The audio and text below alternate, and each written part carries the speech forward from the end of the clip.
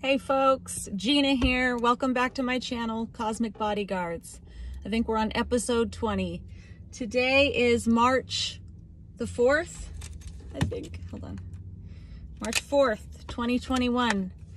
And I never thought um, that I would really be giving this kind of speech to you guys. I never thought I would be doing this on my channel, but, uh, and I don't have much storage on my phone right now. So I just, it's really on my, sitting on my chest though. It's really on my heart. And um, lately that I've influenced a lot of girls who like the occult, witchcraft. I've took people that were skeptical or atheistic and I've I've influenced them and they've their beliefs they consider it now that this stuff is real and that maybe it's not so bad. It is bad. This stuff is really bad. Um, I was a witch. I had my own witchcraft practice. I had my own business. I made money from from doing spells, doing rituals. I would be, um, I had been approached on multiple occasions to teach a coven and to have my own coven in my house, which I could have done. Um, I was looked at like somebody who knew what she was talking about. Um, I was even trying to write this stuff down in a book. I came up with my own rituals, my own. I was very, very connected to spirit. I called my, I called it spirit. And a lot of it was this kind of more Christ-like force. It was an empathic, um, energetic, compassionate, loving force. It was the God force, you know, but you can't, you must, you must exert your compassion or exert whatever power you think you have, it must be in the name of Jesus Christ, the one, God's one only Son, the, the Savior, um, the Lord and Savior, the biblical Jesus, the biblical principles. Jesus Christ is is the all-powerful human being. Um, this is Jesus Christ is how we access the God force when we try to access this God force on our own using crystals, using uh, tarot cards, oracle cards, divination practices, scrying on a mirror, um, symbology. Uh, what else was there? Um, my my practice started when we try to access that, speak, connect to the God force through those things, and not Jesus Christ as their your one and only um, you're creating an energetic doorway. You're creating what happens in the spirit realm uh, that's happening all around us is um, you can look at it like, I look at it like uh, the blades of a blender. You know how they're spinning so hard that it, it gives you that, it looks like blade, you can't tell where the blade stops. You can't tell um, you know, it creates that illusion that there is a full circle of something there when really it's just three blades. They're just spinning, they're vibrating at such a high capacity that, such a high frequency um, that, that, you know, you, it creates a different look. This is what happens when you are vibing high with, with all these spiritual means with all of these um, they are what they are tools to access the spirit realm to access spirit. And some people would even call them their angels their ancestors. Uh, spirit you can feel spirit around you. Um, even if you think they're your angels you know. I do believe that our ancestors and our angels can be around us but we don't need all that stuff extra stuff for um, for that. Jesus Christ will help you with that, actually. I promise. Um, Jesus Christ and God, the, mo high, the most powerful, the creator, uh, we, they, they, they give us exactly what we need.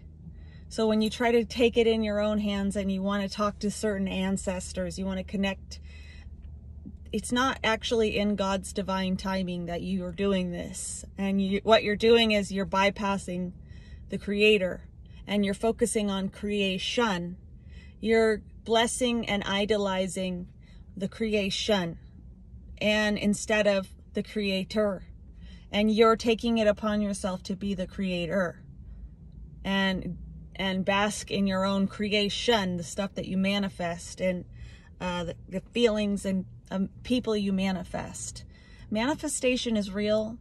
Um, all of the stuff you see on the internet, you might on YouTube and stuff, and you might be skeptical. Skeptics, I don't even deal with skeptics anymore. I'm saying this stuff is real, and you might, and you will, um, you will, your spells will build. You will get better at it, and you and the enchantment your other people are feeling around you is real.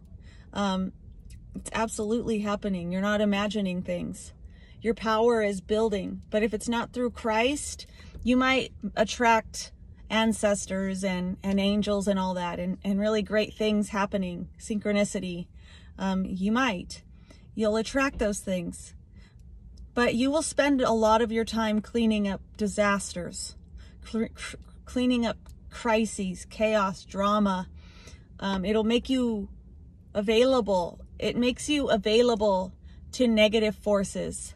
They say that person, okay, like say a, neg- a demon in the spirit realm is looking to attach to uh, a body, to attach and use the energy of somebody uh, who's out, whose energy can create, right? Because when you're in that state, you're in the creator state. You're in a high frequency, high vibing.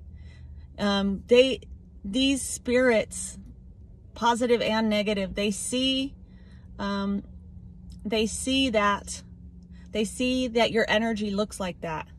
It, and I think it has a sound in certain people. Sometimes the, the pitch is like high and sometimes it's more low vibing.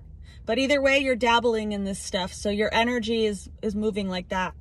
And they, in the spirit realm, they, they see that as a doorway because it is a doorway. It absolutely is a doorway. Um, now, people who are believers in Jesus Christ and biblical principles, uh, they don't experience that and they're protected. See, the demons, negative forces, they can't actually access you when you're protected by Jesus, when you believe, when you're a true believer. And the more you hunker down and like value the biblical principles, the more you love the biblical principles, not just I have to follow them, it's so hard to follow them. No, you love those principles because God gave them to you to, to give you a happy life. Um, the more that you vibe like that, um, everything just works out for you in in that that state of frequency and you give all glory to God You give all glory to the Most High God, to Jesus Christ. Um, you know, that is a very special relationship. Now, if you do, did witchcraft like I did, and, and I, I played with all that other stuff too, um, you will get what you create, but it's it's flawed. It's through this flawed, um, man-made. You can create only as far as your imagination can can create. Uh, and you will you will manifest and create things that are exciting to you that are like whoa wow look at that. I can't believe it happened like that. That worked out for me. But you've also invited in uh, negative spirits and you will have demons. You have them in your house. You have them circling around you. Certain people you might meet can feel that energy on you whether they know you're a witch or that you're doing all this sorcery and stuff whether whether uh, whether they know that about you or not, these people that are influenced by Jesus, who commune with Jesus, remember they're protected often by by Jesus and, and God.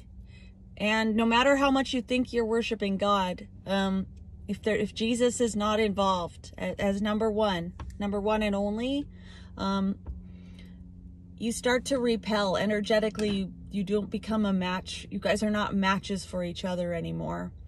Um, and honor and glory start to leave your life. So more and more. So witches might have an amazing life that they've built for themselves on the earth, um, but there's an honor and a glory missing from their life. Uh, they don't they don't hang around with people that are also glorious, righteous, honorable. You notice those people leave your life more and more, and you start to have much more carnal, earthly people around you. And they might think you're awesome, but they're not righteous. You're cleaning up the messes of hanging around with people whose values are not centered in Christ. You see? Um, so, and Jesus is always right there. God is always right there. Um, and, and, you know, we don't, Jesus doesn't send us the demons that end up coming to, into our life. Jesus doesn't do that, but Jesus is there when we say, help me get rid of this. I'm, I've made a mistake. Like, please, I call out to you in the name of Jesus Christ, which is a very powerful phrase there, the name of Jesus Christ. Um, Jesus Christ will come and and he will clean up your demons. He will clean them up and get rid of them. But it requires you to give up that.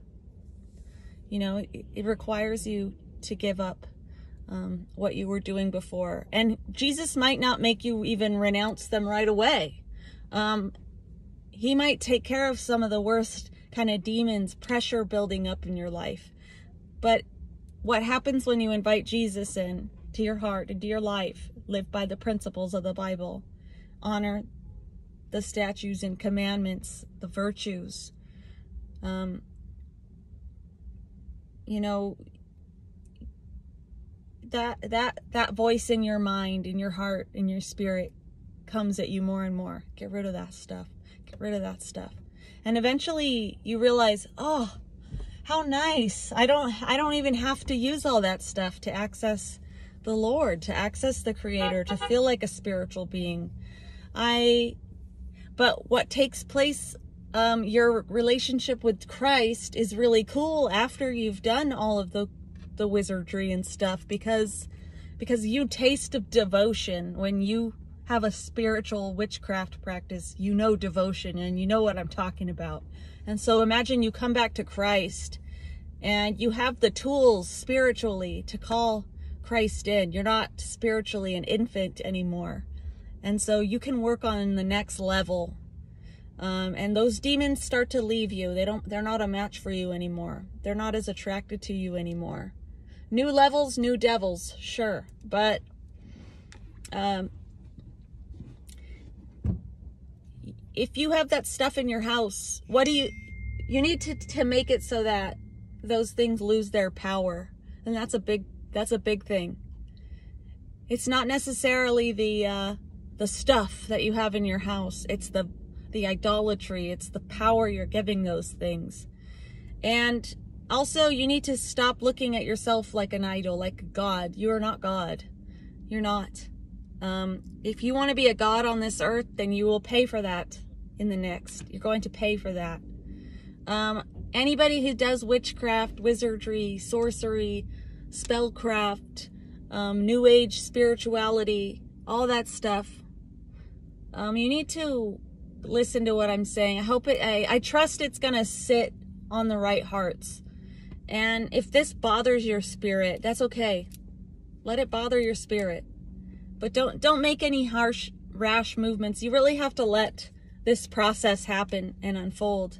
But I promise you invite that stuff in, the demons are coming to your life. You might even have a boyfriend or a girlfriend that you've attracted that that you feel is your divine masculine or divine feminine or whatever. You guys feel there it has this quality to it that is so much pleasure um, takes the place of Jesus. And no, this is not good. And in the spirit realm, yeah, these demons might show up as the love of your life that you have such a hard time getting over when it ends. And some of them will even be biblical. They'll even be, you know, my ex narcissistic boyfriend, my divine masculine, which is what he was. Um, he, he would recite biblical um he would recite the god i'm having a someone standing right there sorry um the verses in chapter you know in the bible the scriptures sorry uh he would recite them and he and and it it was so knowledgeable. He it was like part of him, the scriptures. He also had facts that I'd never heard of before about about the history, the history of what happened in Jesus's time or before hap- before that. He had knowledge about them, even people's names, the way you know somebody's how somebody got their name. He understood these biblical principles as if he was there. And that's because the demon that was inhabiting him was there. These demons are still around. They're ancient. If something feels ancient about your partner, that's a big important thing. If something, there's an ancient quality uh, to your partner, you should be weary of the, this. And if they're not giving all praises to, to God and the Most High, to Jesus, and they still have this knowledge, this is this is an issue. Um, and these demons come to your life not to bring you closer to God. They they bring you to take you away from God, to make to to make you doubt your beliefs, to make you doubt your own strength and and your own spiritual rights. Um, they also could can involve you in crime. They can involve you in gaslighting where you're like, am I wrong for doing that? I don't know anymore. Uh, they they blend your they they cross your boundaries and they make your your values, uh, your your sense of right and wrong, your morality, um, blurry. They make they make seeing what's right and what's wrong uh, so convoluted. But the thing is, you go to Jesus Christ immediately. Say, Jesus Christ, I invite you into my heart. Jesus Christ, in the name of Jesus Christ, I cast out all demons out of my life. If it is not righteous, in the name of Jesus Christ, take it out of my life. I, I'm not available for it any longer. And immediately, a lot of them will just, and, and they'll just poof, goodbye. It's like that. Another thing that starts to happen, though, is a spiritual attack.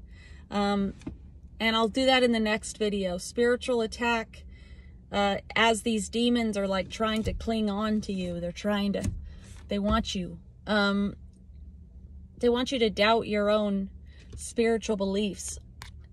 And okay, I have to hang up. That's my daughter. Uh, more in the next video. Thank you.